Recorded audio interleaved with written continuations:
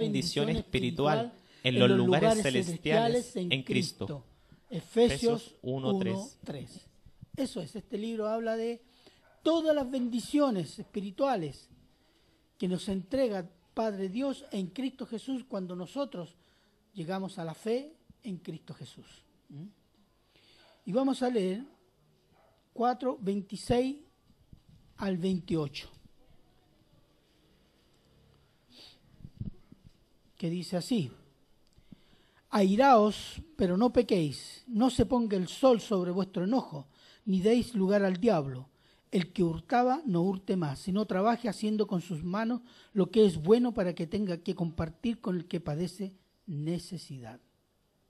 Esos son los versículos que hoy día vamos a echar una mirada, qué es lo que nos está diciendo el Señor. Vamos a introducirnos de la siguiente manera. Cuando el Señor Jesús llega a nuestras vidas, nos convierte, gracias a que a su obra en la cruz, y nos convierte en nuevas criaturas, dice la, la Escritura. Somos, y lo vimos anteriormente, despojados del viejo hombre corrompido. Dejamos de ser la vieja o la antigua persona. Y somos renovados en el espíritu de nuestra mente. Se nos da una mente de Cristo, una mente santa. Y después dice, y somos vestidos, es decir, se nos da una nueva vida. Versículo 24 está eso. Este proceso que el Señor Jesús hace por medio del Espíritu Santo es interior. Mente, corazón y voluntad. Mente, la mente de Cristo. Corazón, deseamos las cosas de Dios y ya no deseamos las cosas anteriores. Deseamos la santidad. Rechazamos la vida de pecado. Nuestra voluntad, tenemos el propósito de conocer y servir al Señor. Este cambio interior tiene que tener expresiones exteriores. ¿Cierto? Si yo digo que soy cristiano, pero vivo igual como vivía antes, fumo, tomo y bailo rock and roll, como se dice una vez, ¿qué cambio ha habido? No, puede decir yo soy cristiano, pero su vida es exactamente la vida de uno que no es cristiano. Entonces tienen que haber cambios. Si hay cambios interiores, tienen que haber cambios exteriores también. ¿cierto? Y, y es lo que dice el Señor Jesús, y vamos a ver el primer versículo, Mateo 5, 14, 16.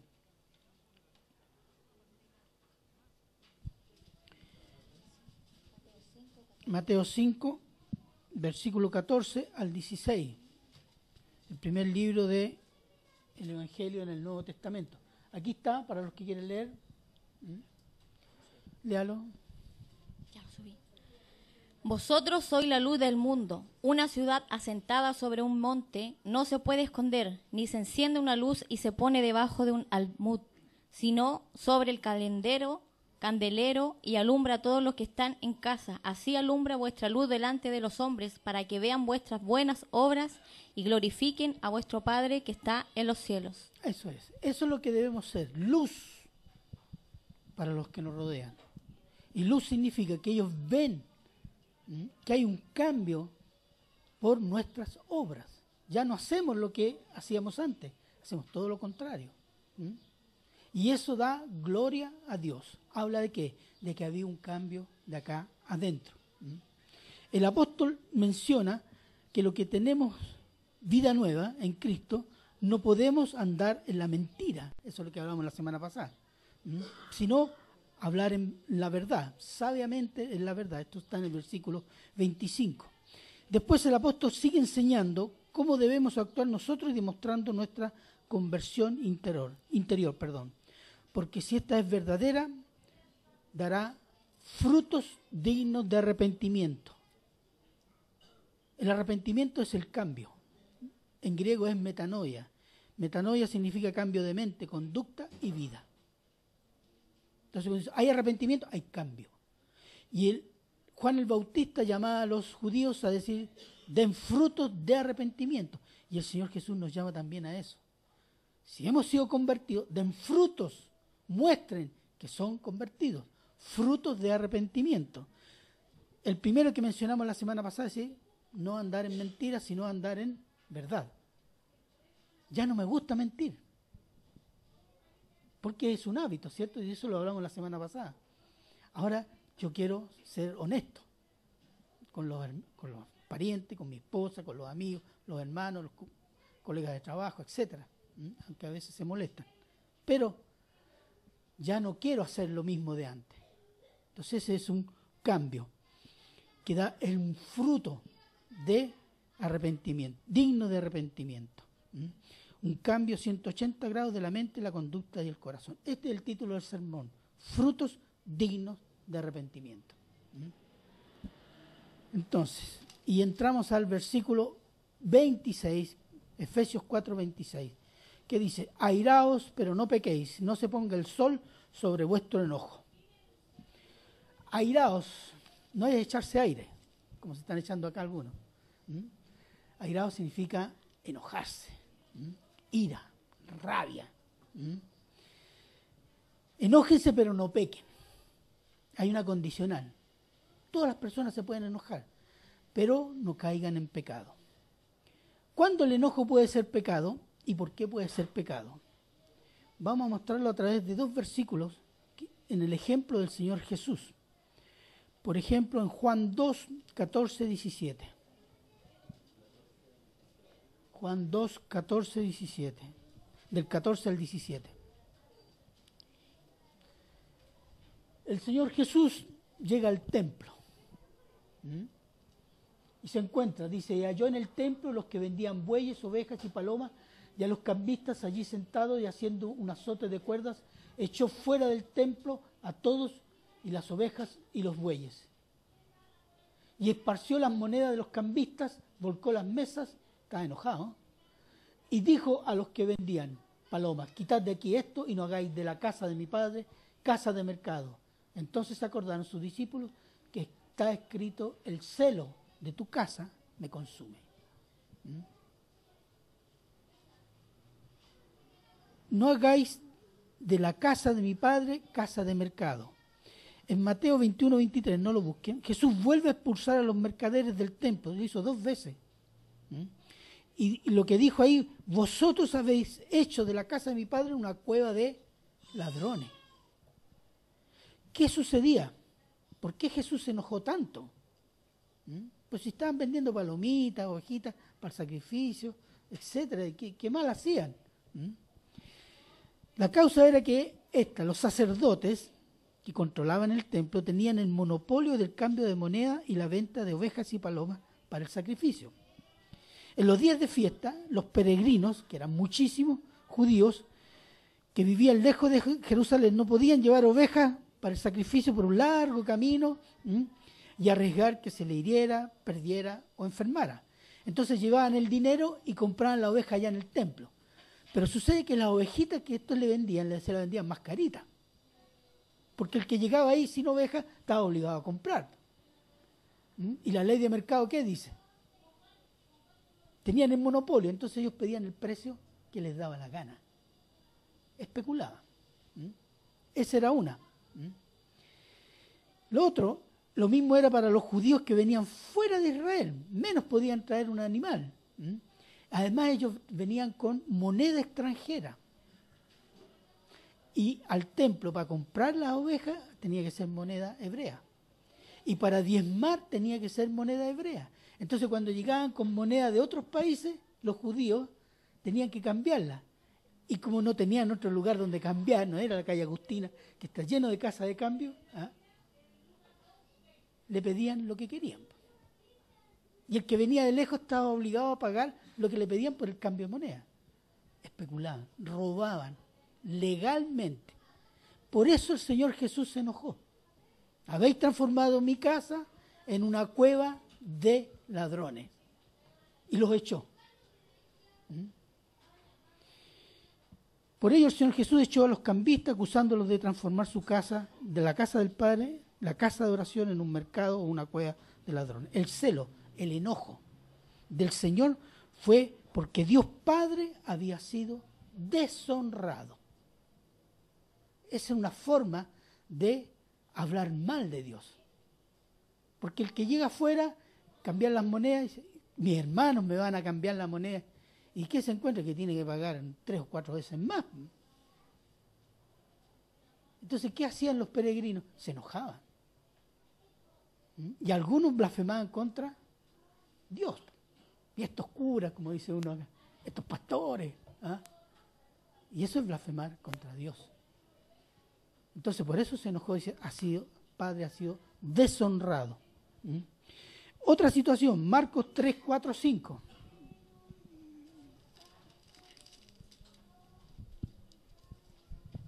Y les dijo, ¿es lícito en los días de reposo hacer bien o hacer mal, salvar la vida o quitarla?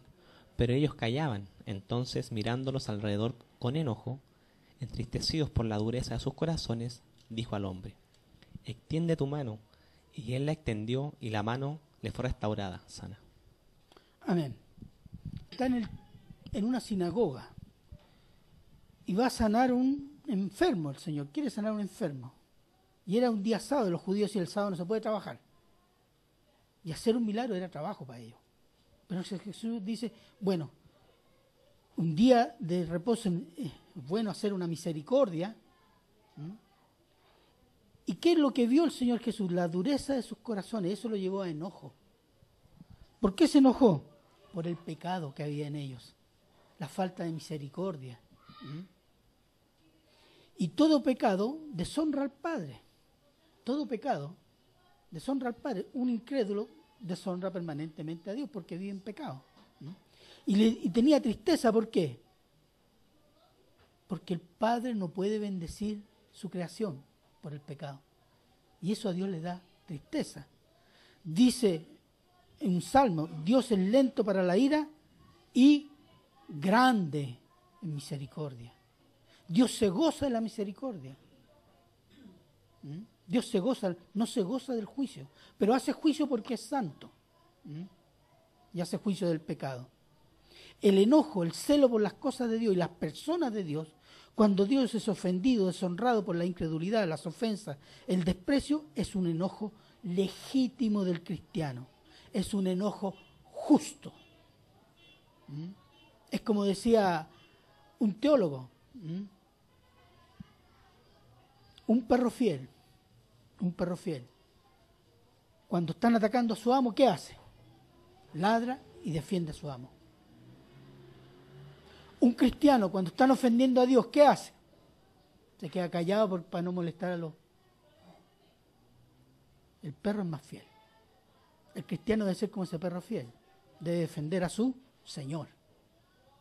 ¿Mm? Debe tener enojo justo. Enojo santo se llama. ¿Mm?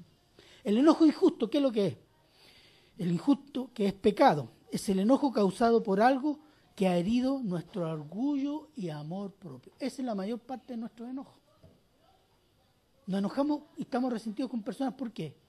Porque me dijo que era así, me trató así, hiere nuestro orgullo personal y amor propio. Esto conlleva resentimiento y rencor que puede conducir a la venganza y en muchos casos al asesinato. Mateo 5, 21, 22.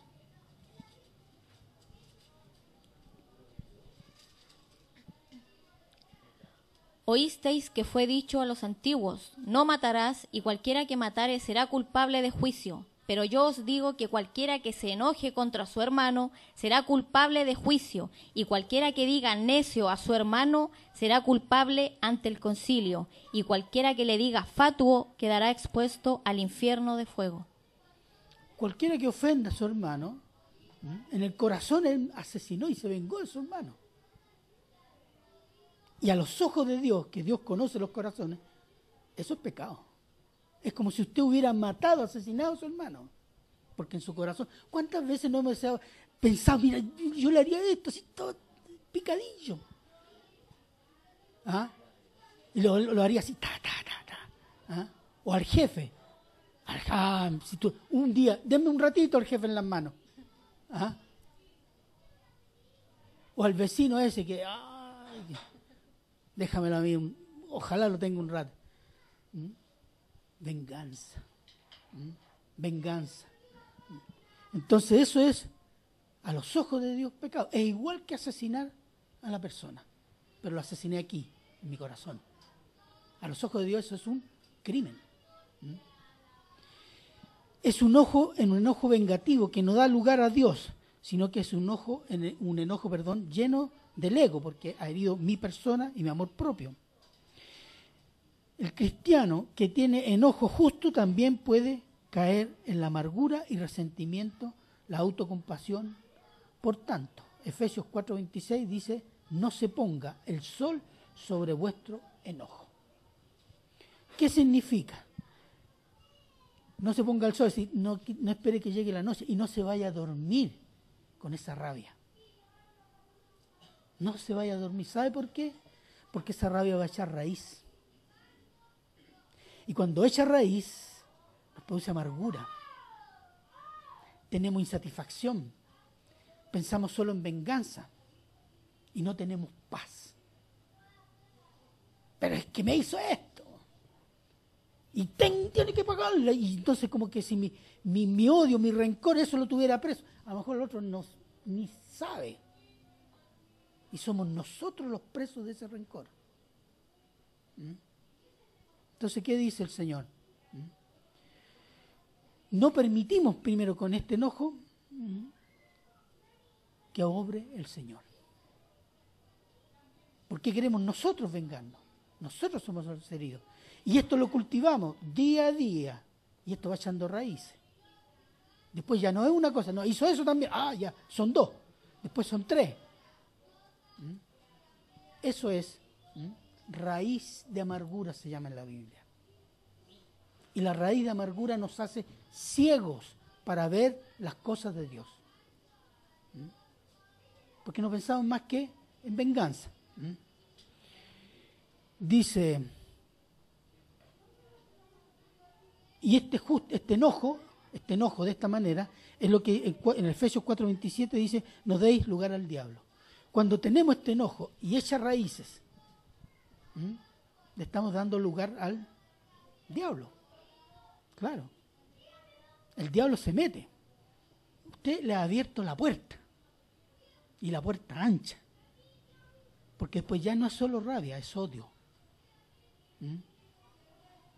Y del odio puede pasar a acciones para hacer mal a esa persona. Incluso el asesinato. El persistir en nuestro enojo le dará cabida al diablo para hacer su obra destructiva en nosotros. Cualquier pecado que comete el cristiano le da cabida o abre la puerta de su vida al diablo. ¿Mm?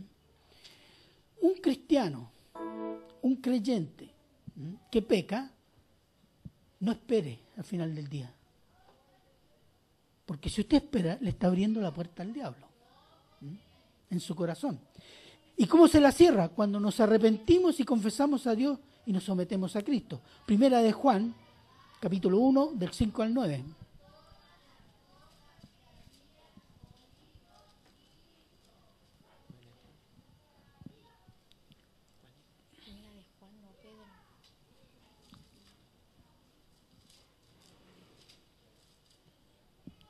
Primera de Juan, capítulo 1, del 5 al 9.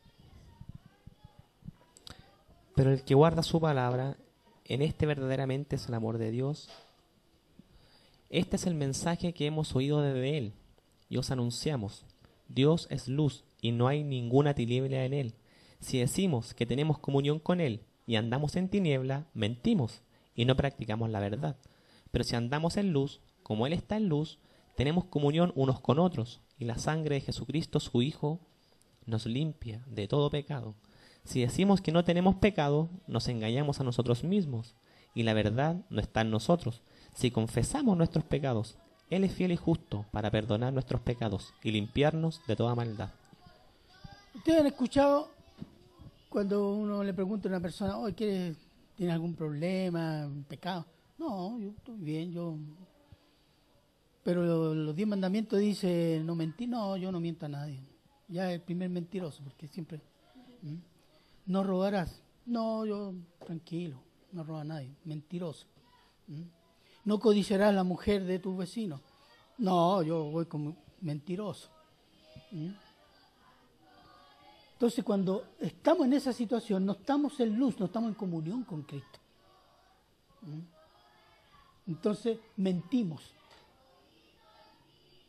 Y cuando mentimos, hacemos mentiroso a Dios también, porque decimos, no, yo estoy bien con Dios.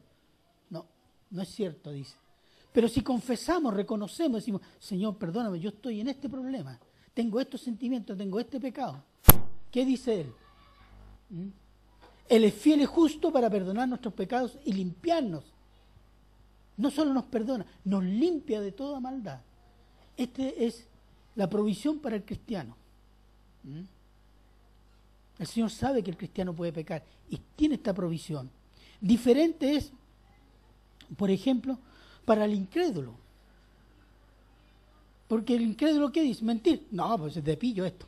Somos inteligentes, pues cabrón que codice otras mujeres, a los ojos de Dios eso es adulterio. No, pues para eso están los ojos, pues, loco. Si soy hombre. ¿Mm? Entonces, el pecado es la vida normal. ¿Mm? Entonces, es lo que dice la escritura. ¿Mm? Anda en la vanidad de su mente, es decir, pensando cosas inútiles. Mente ciega para las cosas de Dios no reconoce las cosas de Dios, es ignorante de las cosas de Dios, no quiere saber nada de las cosas de Dios. Después dice, dureza de corazón, que es insensible a lo moral y a lo espiritual. Y eso significa que andan conforme al príncipe de la potestad del aire. Potestad significa autoridad del aire. Potestad, autoridad. La potestad del aire es, ¿quién es? El diablo. Andamos de acuerdo a lo que dice y hace el diablo. ¿Mm? Ese es el mundo incrédulo. Veamos Romanos 12, 17 al 20.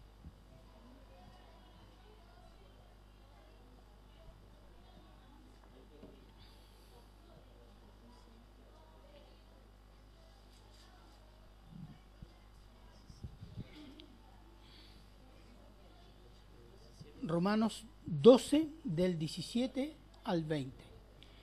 No paguéis a nadie mal por mal. Procurad lo bueno delante de todos los hombres. Sí, hasta el 20. Si es posible, en cuanto dependa de vosotros, estad en paz con todos los hombres. No os venguéis vosotros mismos, amados míos, sino dejad lugar a la ira de Dios, porque escrito está, mía es la venganza, yo pagaré, dice el Señor. Así que si tu enemigo tuviere hambre, dale de comer, si tuviere sed, dale de beber, pues haciendo esto, ascuas de fuego amontonarás sobre su cabeza. ¿Qué significa esto? Le está diciendo al Hijo de Dios, mira, deja la venganza a mí, porque Dios no guarda rencor y Dios es justo. Pero si yo me voy a vengar, guardo rencor y arruino mi alma. Haz bien, aunque sea tu enemigo. Y cuando dice le pondrás ascuas de fuego en la cabeza, ese era un, rito egipcio, que cuando una persona sentía vergüenza, dolor, se ponía una sartén en la cabeza con brasas para demostrar que está muy avergonzado y adolorido respecto a algo que había hecho a alguna familia o a alguna persona. Entonces, si tú haces bien a tu enemigo, este se irá con ascuas sobre la cabeza, con vergüenza y con dolor. ¿Mm? No hagas nada, no responda mal por mal, sino da bien por mal. Porque lo demás, la venganza, yo me encargo, dice el Señor. Yo me encargo. ¿Y nosotros qué hacemos? No le damos lugar al Señor para que Él obre con justicia. Ah, a mí me la pagan. Incluso los cristianos a veces guardamos este rencor y esperamos la ocasión ahí calladitos como la serpiente, pegar el zarpazo. Eso es pecado y eso es arruinar su propia vida espiritual. De un incrédulo no, porque está arruinada. Si no llega a Cristo, seguirá arruinada. Después dice Efesios 4:28, el que hurta no hurte más, sino trabaje haciendo con sus manos lo que es bueno para que tenga que compartir con el que padece necesidad. Miren, hay muchas maneras de robar. quedarse con el vuelto de más, por ejemplo, cuando uno va a comprar. Robar es sacar la vuelta en el trabajo. ¿Por qué? Porque somos pagados por una cantidad de horas y en cambio sacamos la vuelta y trabajamos una hora menos, media hora menos, hasta dos horas menos. ¿Mm? Sacar mercadería en la pega sin pagarla. ¿Mm? Un clavito, un paquetito de cemento. Tanto ellos tienen harto. Eso no justifica el robo. Eso es siempre robo. Porque no es mío, no es del que, del que va a robar, no, va, a sacar propiedad ajena. Eh, declarar menos de lo real el impuesto interno. Eso es pan de todos los, todos los años. Pero es pecado. No pagar una deuda es robo también. El no pago de salario justo también es robo. No dar los diezmos a Dios es robo también, según Malaquía. Cualquier robo pequeño o grande es pecado para Dios.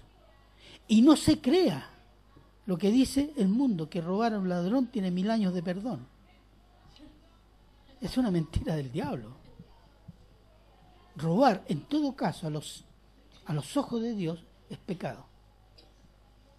No importa que usted crea o no crea. Para el Señor igual pecado. Entonces, para toda persona normal y sobre todo para el cristiano la alternativa cuál es? Trabajar. Todo el que esté en capacidad de trabajar, que así lo haga, dice el Señor. Segunda de Tesalonicenses, capítulo 3, del 11 al 13.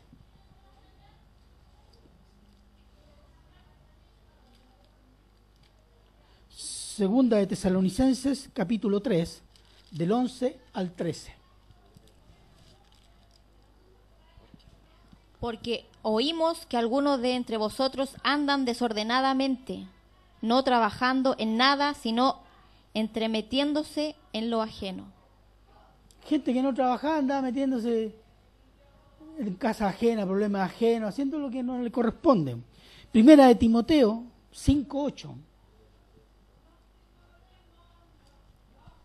Porque si alguno no provee para los suyos, y mayormente para los de su casa, ha negado la fe y es peor que un incrédulo. Esto sí que es interesante. Esto significa que el Señor nos llama ociosos, ni vagos profesionales. ¿Mm? Dice, el que no provee para sí mismo y su casa es peor que un incrédulo. Y eso, yo por lo menos se puede ver en la sociedad que hay muchos varones, muchos varones que hacen eso. Y a veces algunos se profesan cristianos, que yo dudo que lo sean. Porque este versículo me dice, ha negado la fe, ese acto de no sostenerse a sí mismo y a su familia, es negar la fe, porque es un mandato al varón que está en Génesis. Eso es lo que le corresponde a todo varón, no importa que usted no crea. Usted fue creado como varón y tiene que proveer a su familia. Es un mandato divino para todo varón. Antes, ahora y después. Y es peor que un incrédulo. ¿Por qué? Porque los incrédulos algunos trabajan. Pero alguien que se dice cristiano y no hace eso, mucho peor que un incrédulo. Entonces, ¿puede ser creyente? Tal vez no. Entonces,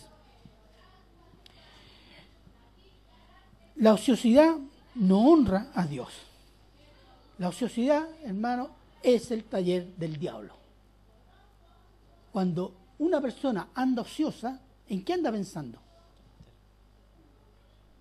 ¿Cómo pasarlo bien?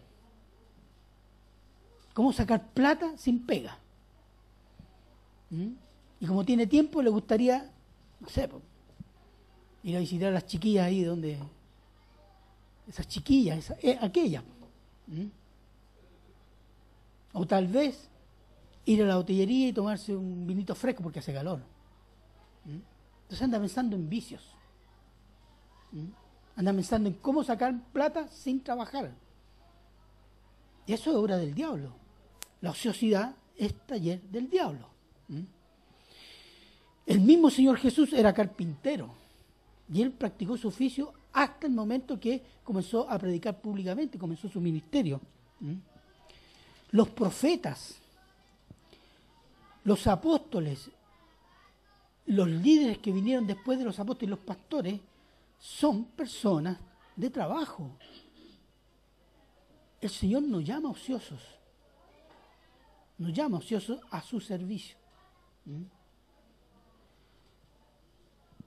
Spurgeon, un predicador del siglo XIX, inglés, él, fue un gran predicador en su tiempo y además era un hombre que preparaba pastores. Declaró lo siguiente, si un hombre ha fracasado en su oficio y piensa que en el pastorado está su realización, entonces ese hombre no tiene ningún llamado a pastor y ya ha fracasado. Porque el Señor nos llama ociosos.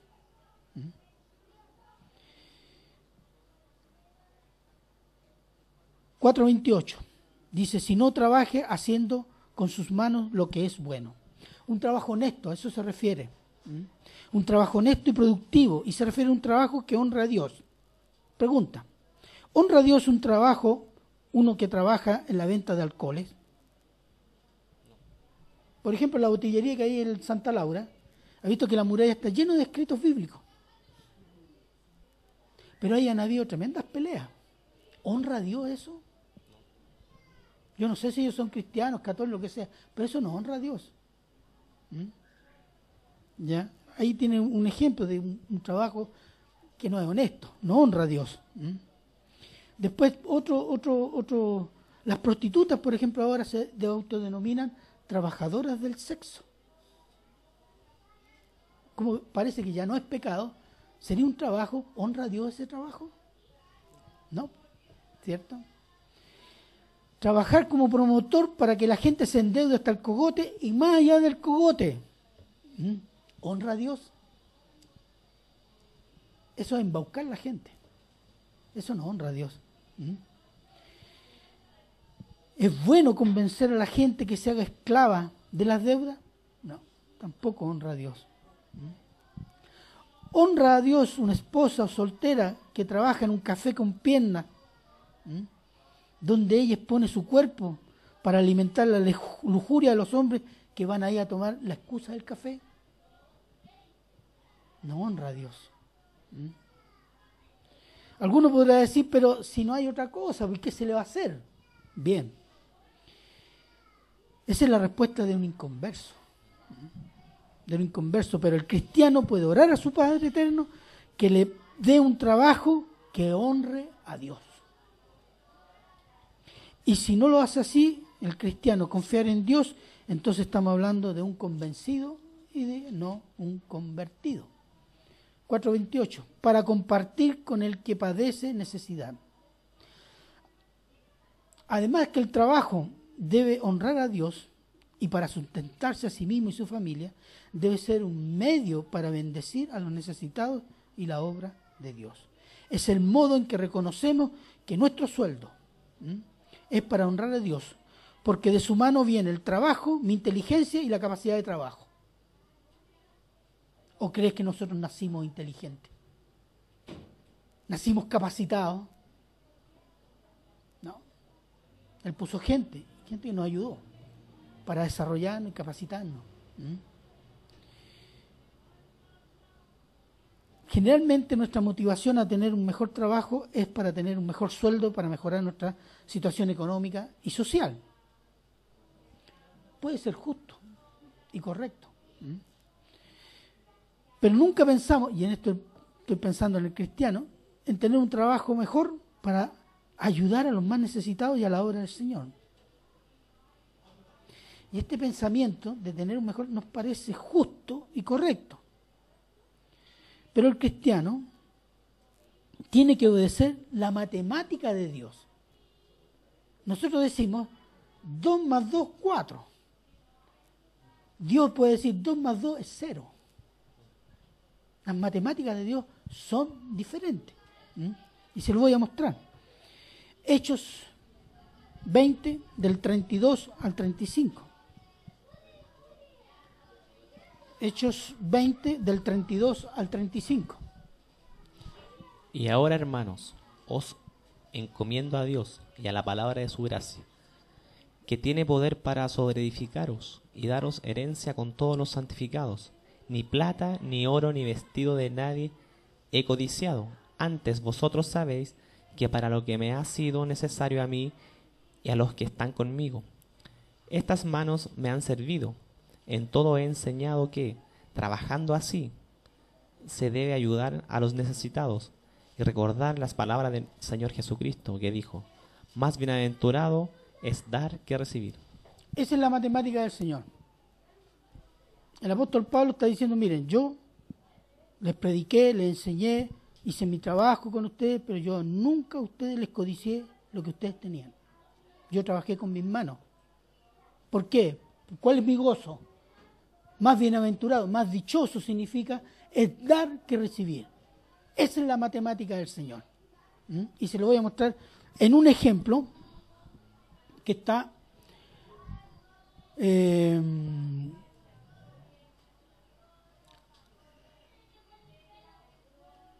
¿Por qué dice es más dichoso dar que recibir? Primero, hay una razón. Porque dar es imitar a Dios. Dar generosamente. ¿Dios da generosamente? Dios es generoso. Mire, si saca estas cuentas, Él envió a su Hijo a morir en la cruz por los pecados de todos los hombres, de todos los seres humanos.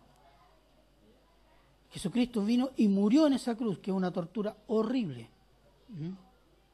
Y con eso, cuando creemos en Cristo, Él nos da perdón de pecado, salvación de vida eterna, una vida bendecida acá y después de la muerte, una vida eterna con Cristo Jesús. ¿Y por qué lo hizo? Porque nos ama, porque es solo por su amor, porque no lo merecíamos para nada. Nosotros estábamos muertos nuestros delitos y pecados. Y Él envió a su Hijo a morir por nosotros. ¿Mm? Recordemos que Jesús fue crucificado por judíos y romanos. Y si nosotros hubiéramos estado en ese tiempo, también, no, este es un charlatán, crucifíquenlo. Entonces, el ser generoso con los necesitados y la obra del Señor honra al Señor y da gozo y nos hace dadores alegres o dadores panal, como el panal. Entonces yo lo voy a explicar ahora, vamos a ir concluyendo, tres tipos de dadores. Tenemos el primero, el dador membrillo. El dador membrillo, ¿se acuerdan del membrillo ese que le regalaban a uno cuando se iba a la escuela?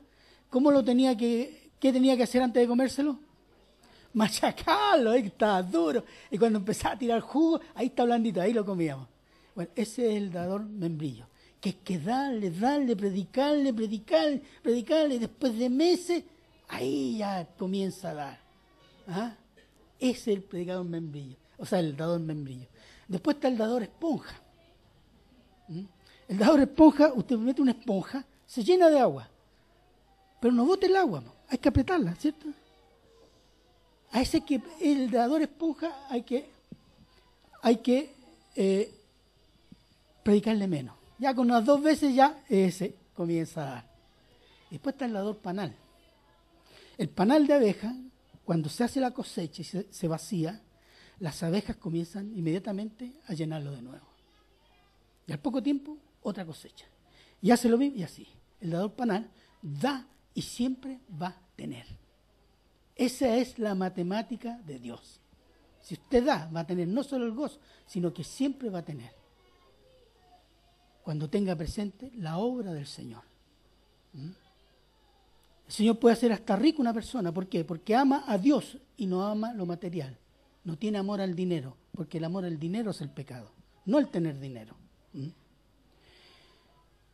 Entonces, hermanos, a la luz de las escrituras, el creyente está examinan, debe examinar si su vida está dando los frutos dignos de arrepentimiento, de cambio, que bendice mi vida, bendice a mi familia, bendice a mi vecino y dan gloria a Dios. Y su nombre es alabado o exaltado. Es ¿Estoy dando buen testimonio de modo que el nombre de Cristo es alabado?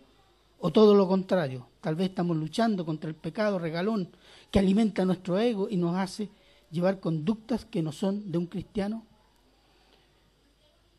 Lo que sea, debemos examinarlo a través de lo que dice nuestro Señor. ¿Mm? ¿Cómo debemos vivir? Pero Dios, como Dios nos enseña a vivir, pero no espere que le llegue el castigo. Si usted tiene las escrituras, confróntese en las escrituras. Lo que dice el Señor en estos pasajes que hemos leído. ¿Para qué? Para que confronte su vida y diga, ¿estoy haciendo eso? Ahora, si usted no es creyente, usted no va a poder vivir esto, pero sí puede hacer algo. Conocer al Señor Jesús. Mire, brevemente, el cristiano, el cristianismo tiene una diferencia con las otras religiones. La religión fuera del cristianismo es el hombre buscando a Dios. El cristianismo es Dios que busca al hombre. Es Dios que llama al hombre. ¿Por medio de quién? De Jesucristo. ¿Qué dijo el Señor en Mateo? Vengan a mí todos los cansados, todos los trabajados, yo los haré descansar. Eso no lo dijo Mahoma, Buda, ni ningún otro líder de otra religión. Lo dijo solo el Señor Jesús, que es Dios. Y ese es el llamado arrepentirse de su pecado y buscar el perdón de Cristo. Cuando usted se arrepiente de sus pecados, el perdón de Cristo está a la mano.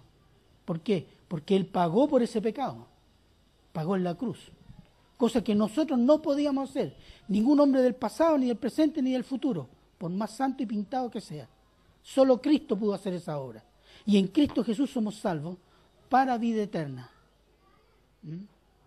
Porque dice la Escritura, de tal manera amó Dios al mundo que ha dado su Hijo unigénito para que todo aquel que en Él crea no se pierda, ese de pierda no se vaya al infierno, sino que tenga vida eterna. ¿Mm? El que no ha creído ha sido ya condenado, dice. ¿Por qué? Porque no ha creído en el unigénito Hijo de Dios.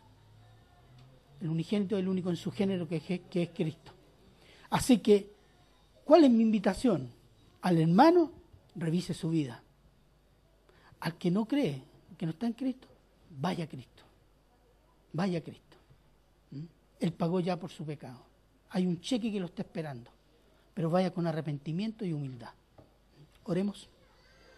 Padre eterno, Padre misericordioso, Señor, te damos gracias por esta palabra, este pasaje, Señor, que nos has enseñado cómo vivir como como hijos de Dios para la gloria de tu nombre. Yo ruego que esta palabra, Señor, pueda llevar a nuestras vidas a examinarla, Señor, para corregirla, Señor, según la bondad y el poder del Espíritu Santo, Señor.